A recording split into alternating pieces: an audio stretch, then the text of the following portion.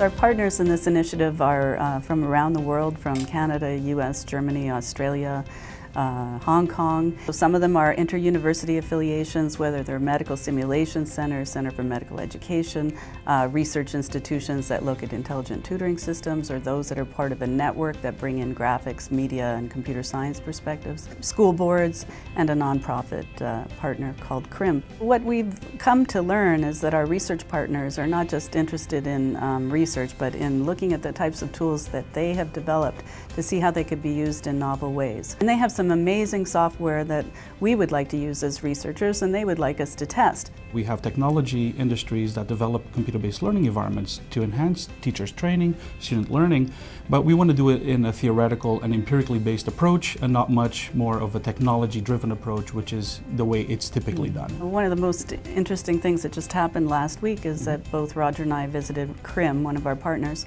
We were really able to identify specific tools that CRIM had developed that could be used in novel research ways, some of the ways that we had never even anticipated. So we're coming up with innovations that, uh, you know, in, in an amazing way because we haven't even predicted what these partnerships will give to us. And one of our goals, as, as Roger was saying, was really to bring multiple disciplines to solve a very important problem. Part of the synergy, as Susanne is saying, is basically we want to address real world problems. So whether it's training in medical scenario or education in the classroom with technology, um, we can translate and move away from the lab to actually have an impact in terms of changing people's lives. We've designed our partnership to have those strengths that we could look at multiple forms of evidence of learning and affect while they're learning.